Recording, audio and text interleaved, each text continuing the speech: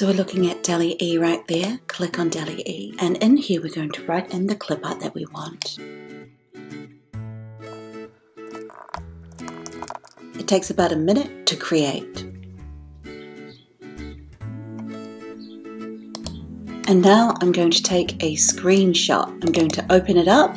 I am on a Mac. Done. Open it up one more time. And on a Mac, it's easy. You go to the pencil, you go to the magic wand. Go over to Canva, bring in the screenshot, get a background in, make it party like, and as you can see, it is working.